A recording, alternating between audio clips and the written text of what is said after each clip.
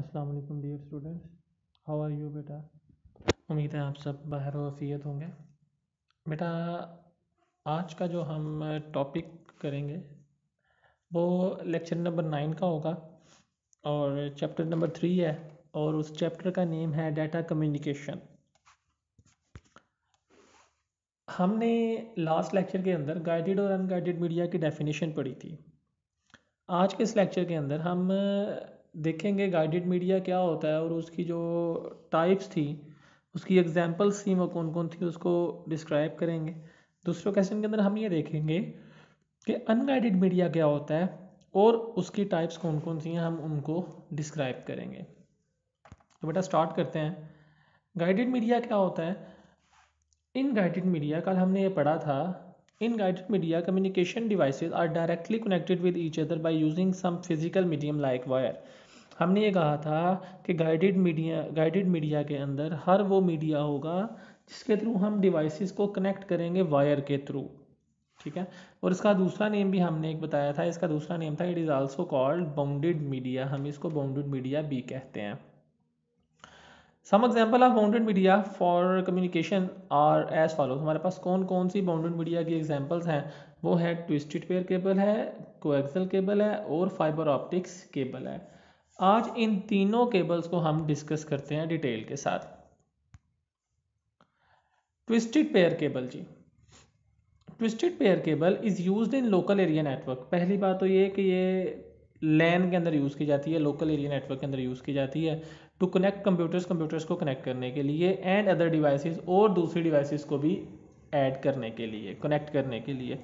जैसे प्रिंटर हो गया या स्कैनर हो गया। Twisted pair consist of a pair of copper wires इसके अंदर जो कॉपर वायर्स का पेयर होता है the pair of wire is covered by a plastic insulation जो हमारे पास कॉपर वायर का पेयर होता है, उसको कवर किया गया होता है प्लास्टिक इंसुलेशन के साथ प्लास्टिक कवर के साथ एंड इज़ ट्विस्टेड टुगेदर और इसको आपस में ट्विस्ट कर दिया गया होता है। Twisted of wire protects them from interference by external electromagnetic waves इनको ट्विस्ट करने का मकसद ये है कि बाहर से जो इलेक्ट्रोमैग्नेटिक वेव्स होती हैं, वो वायर को डिस्टर्ब ना करें। आए, इसकी एग्जांपल को देखते हैं हम। बेटा, ये देखें हमारे पास, ये हमारे पास एक केबल है। इलेक्ट्रोमैग्नेटिक सॉरी इंसुलेशन है ये इसके ऊपर केबल के ऊपर चढ़ी हुई है। उसके अंदर ये हमारे पास चार पेयर्स हैं, एक ये एक ये एक ये और एक ये। हमारे पास चार पेयर्स हैं। हर पेयर के अंदर दो वायर्स हैं। अगर हम इस एक वायर को देखें तो इसके सबसे अंदर जो है वो कॉपर की वायर होगी।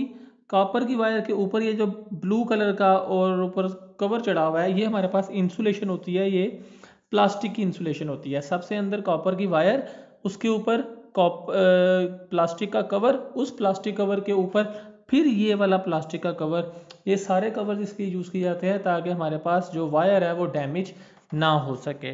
वायर को डैमेज होने से बचाने के लिए हम ट्विस्टेड पेयर केबल के ऊपर जो कवर चढ़ा होता है प्लास्टिक का वो यूज़ करते हैं। इसकी करेक्टरिस्टिक्स क्या हैं?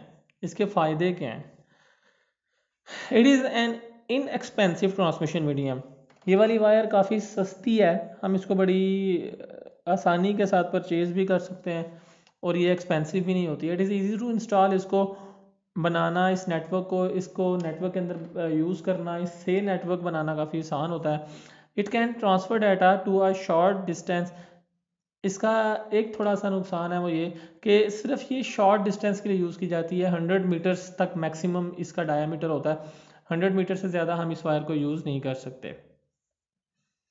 जी बेटा जी, दूसरी केबल है हमारे पास को एक्सेल केबल एक चीज़ बताना भूल गया ये जो हम इंटरनेट वगैरह यूज़ करते हैं मोस्टली जो घर के अंदर डीएसएल केबल आई होती है, वो इसी की एग्जांपल है।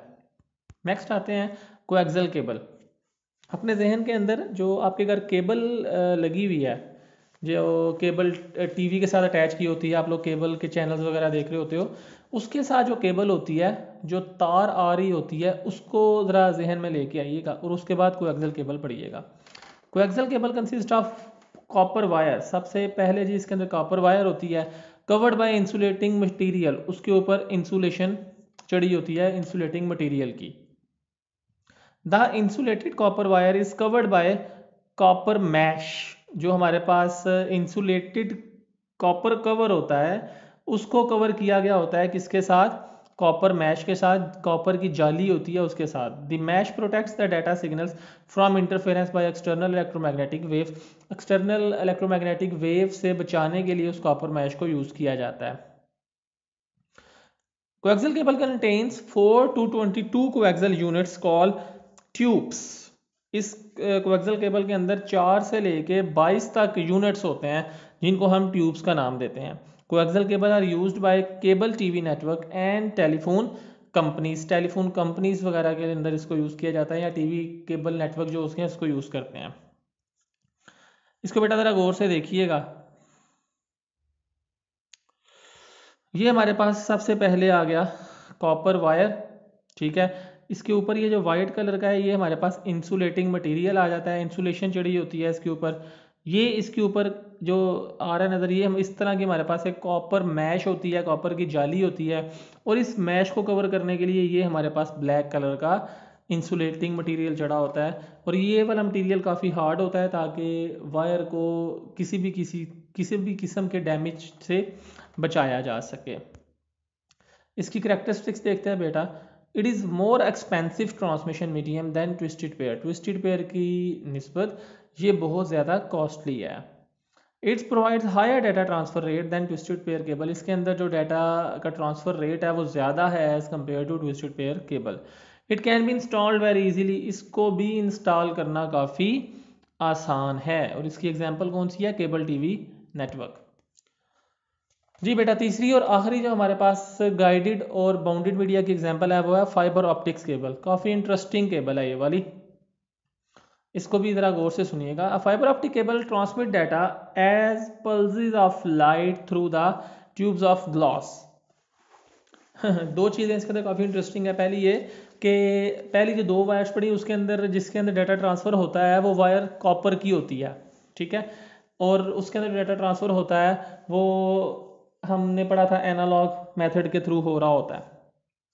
इसके अंदर जो दो चीज़ें नहीं हैं, वो ये हैं कि इसके अंदर जो कॉप इसके अंदर जो सबसे अंदर वाली है वायर, वो ग्लास की है, शीशे की होती है। और उसके अंदर जो डाटा ट्रांसफ़र होता है, वो in the shape of light होता है। दो चीज़ें हैं दोनों डिफरेंट हैं।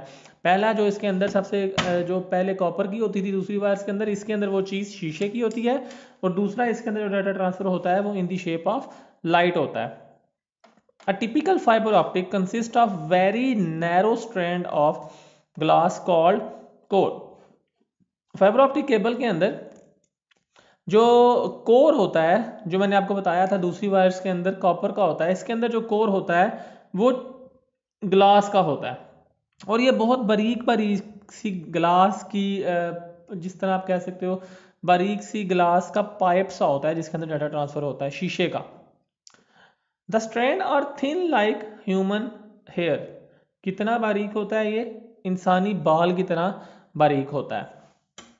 This core is centre of the fibre fibre where light travels ये कोर जो है, वो चीज़ है जो शीशे की होती है और उसी के अंदर जो सी है, वो लाइट ट्रेवल होती है। मतलब अब ये समझो कि ये हमारे पास एक केबल है, ये हमारे पास कोर है जिसके अंदर लाइट ट्रांसफ़र होती है। In the light in the speed of light data जो है वो ट्रांसफ़र होता है। और डाटा कैसे ट्रांसफ़र होता है? लाइट की शेप में ट्रांसफ़र होता है।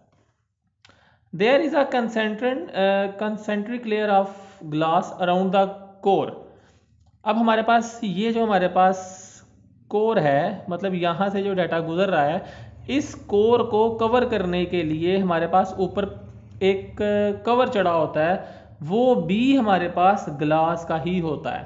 जैसे ये एग्जांपल है, ये हमारे पास सारी की सारी कोर्स हैं। इस कोर के ऊपर जो कवर चढ़ा होगा, वो कौन सा होगा? ग्लास का होगा। और उसका नाम क्या है? उसको हम नाम देते हैं क्लैडिंग का। जो कोवर है, वो भी ग्लास का है। जो उसके ऊपर कवर चढ़ा हुआ है, जिसको क्लैडिंग कहा जा रहा है, वो भी ग्लास की है। It reflects the light back into the core उसका काम ये है कि चूँकि लाइट ट्रांसफ़र होनी है इसके अंदर, जब लाइट ट्रांसफ़र हो रही है तो हो सकता है कोई लाइट जो सी है, वो रिफ्लेक्ट हो जाए। जब वो रिफ्लेक्ट होके ऊपर दोबारा आएगी, उस कोर से बाहर निकलने की कोशिश करेगी तो क्लैडिंग उसको रोकेगी और उसको रिफ्लेक्ट करेगी वापस उसी कोर के अंदर। ताकि उसी कोर में से ही, उसी वायर में से ही डाटा ट्रांसफ़र हो, उस वायर से बाहर जो सी है, वो लाइट बाहर ना निकल सके। The cladding has a protective cover of plastic called jacket इसके ऊपर जो हमारे पास कवर नज़र आ रहा है, इस जैकेट को नाम दिया जाता है जैकेट का। और ये कौन सा, किस चीज़ का होता है, ये प्लास्टिक का बना होता है। कोर भी जो सा है, वो है ग्लास का। क्लैडिंग भी है, वो भी ग्लास की। जो उसके ऊपर जैकेट चढ़ी होती है, वो होती है प्लास्टिक की। An important characteristic of fibre optic is refraction कह रहे जी जो फाइबर ऑप्टिक की जो मेन खूबी है वो है रिफ्रैक्शन और रिफ्रैक्शन क्या होता है? Refraction is the characteristic of material to either pass or reflect light reflection refraction जो है वो एक फिजिक्स की एक टर्म है फिजिक्स के अंदर लाइट की. आ, उसका काम क्या है? वो ये बताता है कि उस मटेरियल में से यहाँ तो लाइट गुजर जाएगी ठीक है और यहाँ लाइट जो है वो रिफ्लेक्ट हो जाएगी. रिफ्लेक्ट का मतलब ये होता है फॉर एग्जांपल ये दो हमारे पास मटेरियल हैं, यहाँ से टकरा के ऐसे वापस, यहाँ से टकरा के ऐसे वापस, इस चीज़ को हम रिफ्लेक्शन का नाम देते हैं। और ये यूज़ कहाँ पे की जाती है जी fibre optics most telephone companies telephone companies इसको यूज़ करती हैं। आई मतलब इंटरनेट सर्विस प्रोवाइडर मतलब वो कंपनीज़ जो इंटरनेट की सर्विस प्रोवाइड करती हैं, जैसे जोंग है जैज़ है, ये सारी। एंड टेबल की cable TV operators are using fibre optics in their networks जो हमारे पास केबल टीवी नेटवर्क्स वाले हैं आई हैं या टेलीफोन कंपनीज़ हैं वो सारी फाइबर ऑप्टिक्स केबल को यूज़ करती हैं। एडवांटेजेस कौन कौन से हैं जी? फाइबर ऑप्टिक्स के। Fibre optic network work at very high speed fibre optic की जो स्पीड है वो काफ़ी ज़्यादा तेज़ होती है। The information carrying capacity of fibre optic is very high इसके अंदर जो डाटा की ट्रांसफ़र uh, स्पीड है वो काफ़ी तेज़ है। डाटा की कैपेसिटी जो उनसी है कैरी करने की इंफॉर्मेशन वो भी काफ़ी तेज़ है। Fibre optic is lighter and smaller in size fibre optic जो सी है फाइबर ऑप्टिक्स जो सी है वो साइज़ में जो सी है स्मॉल होती है और हल्की होती है। It is more secure and reliable form of data transmission काफ़ी सिक्योर है। It is not affected by electromagnetic waves के अंदर इलेक्ट्रोमैग्नेटिक वेव्स जो सी हैं वो इफ़ेक्ट इसको नहीं करती। डिसएडवांटेज कौन से हैं? It is difficult to install इसको इंस्टॉल करना बहुत मुश्किल है। इसको बनाना, इसको लगाना अटैच करना बहुत मुश्किल है। इट इज़ एक्सपेंसिव और बेटा ये कॉस्टली बहुत ज़्यादा होती है। जी बेटा, अब हम जो दूसरा टॉपिक है हमारा, वो है अनगाइडेड मीडिया क्या होती है और उसकी टाइप्स कौन सी हैं? अनगाइडेड मीडिया का हम पहले पढ़ चुके हैं कि ऐसा मीडिया जिसके अंदर हमें वायर की ज़रूरत नहीं पड़ती, हम सिग्नल्स या एयर के थ्रू हम डाटा की ट्रांसमिशन करते हैं। हमारे पास तीन टाइप्स आती हैं अनगाइडेड मीडिया की। कौन कौन सी हैं? सबसे पहले है माइक्रोवेव दूसरा है कम्युनिकेशन सैटेलाइट और तीसरा है मोबाइल कम्युनिकेशन इन तीनों को हम स्टडी करके देखते हैं। सबसे पहले बेटा microwaves microwaves are radio waves एक ऐसी रेडियो वेव्स हैं that are used to provide high speed transmission जिनका मकसद क्या है कि डाटा की ट्रांसमिशन जो है वो स्पीड अप हो। मतलब सिग्नल्स के थ्रू डाटा ट्रांसफ़र करना है वायर की ज़रूरत नहीं है इनके अंदर, ये बात में रखिएगा। But both voice and data can be transmitted through microwave आवाज़ और डाटा दोनों ट्रांसफ़र किए जा सकते हैं माइक्रोवेव्स के through Data is transmitted through the air from one microwave station to the other, similar to radio signals.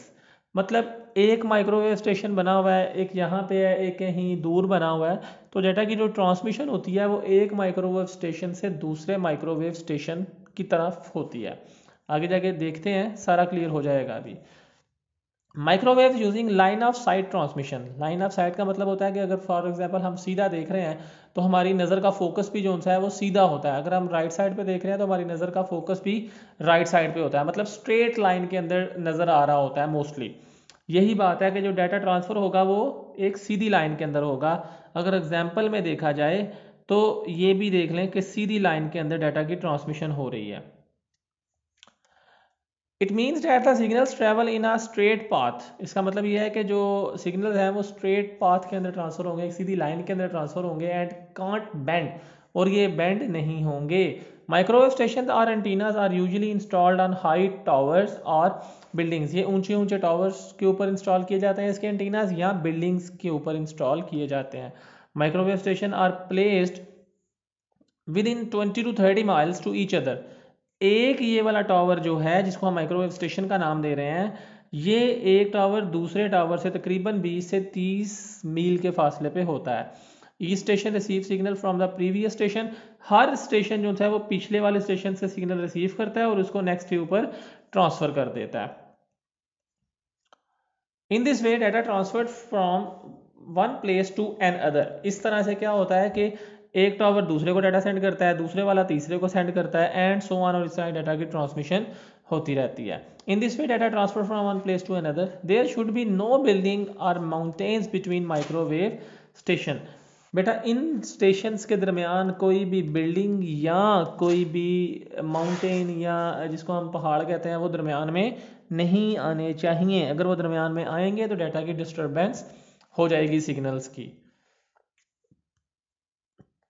बेटा यहाँ तक क्लियर हो गया, समझ आ गई बात की मतलब कुछ टावर्स लगे हैं। हर एक टावर ने दूसरे टावर को डाटा सेंड करना है, दूसरे ने तीसरे को सेंड करना है। एट लास्ट उस लोकेशन तक पहुँच जाएँगे जहाँ पे हमारा डाटा पहुँचना है। दूसरे नंबर हमारे पास आता है कम्युनिकेशन सेटेलाइट मतलब सेटेलाइट के थ्रू हमारी कम्युनिकेशन कैसे होगी? Communication satellite are use in wireless communication exactly मतलब वायरलेस कम्युनिकेशन के अंदर सेटेलाइट कम्युनिकेशन यूज़ की जाती है। ओवर लॉन्ग डिस्टेंस बहुत ज़्यादा लॉन्ग डिस्टेंस है अगर हमारे पास वहाँ पे। The communication uses the satellite and earth base station इसके अंदर दो चीज़ें होती हैं, एक सैटेलाइट्स होते हैं और दूसरा अर्थ बेस स्टेशन होते हैं, जिनको हम अर्थ स्टेशन का नाम भी देते हैं। The satellites are placed around the globe about twenty two thousand three hundred miles above the earth मतलब ज़मीन जो हमारे पास है जो अर्थ है पूरी जो इसको हम ग्लोब का नाम देते हैं उससे तकरीबन बाईस हज़ार तीन सौ मील दूर सैटेलाइट्स होते हैं। Satellite receive microwave signal from earth wave station ज़मीन से माइक्रोवेव सिग्नल सेंड किए जाते हैं सैटेलाइट्स को। It amplifies the signal and retransmit back to the different earth base station तो सैटेलाइट uh, क्या करता है? उन सिग्नल्स को बूस्टअप करता है। उनकी, उनको दोबारा से बूस्टअप किया जाता है, उनकी पावर कंप्लीट की जाती है और उसको दोबारा ज़मीन के दूसरे हिस्से पे सेंड कर दिया जाता है। The transmission from earth station to satellite ज़मीन से अगर हम सैटेलाइट पे डाटा सेंड करते हैं तो उसको नाम दिया जाता है अपलिंक का। अगर सैटेलाइट से ज़मीन पे भेजा जाएगा तो उसको नाम दिया जाएगा डी डाउन लिंक का। ये देखें बेटा। ये हमारे पास ये अर्थ है। अर्थ से ये सारे ऊपर सैटेलाइट्स हैं। अब होता कुछ इस तरह से है, हर सैटेलाइट ने ज़मीन का कुछ एरिया कवर किया होता है। फॉर एग्ज़ाम्पल इसने इतना कवर किया हुआ इसने इतना किया हुआ इसने इतना कवर किया हुआ इसने इतने वाला कवर किया हुआ है। यानी कि हर सैटेलाइट ने ज़मीन का कुछ हिस्सा कवर किया गया है। अब इसे होगा क्या? अगर यहाँ से डाटा उठाया गया और उसने सेंड करना है यहाँ पे, इस जगह पे तो क्या करेगा? ये सैटेलाइट सेंड करेगा। इसको, जब ये इसको सेंड करेगा तो ये अपने नीचे अर्थ स्टेशन को डाटा सेंड करेगा। मतलब सैटेलाइट से डाटा ज़मीन पे जाएगा, जिसको हमने डाउन लिंक का नाम दिया, यहाँ पे डाटा आएगा। और नीचे यहाँ पे इसने, जिसने इसको यूज़ करना होगा, वो इसको यूज़ कर लेगा।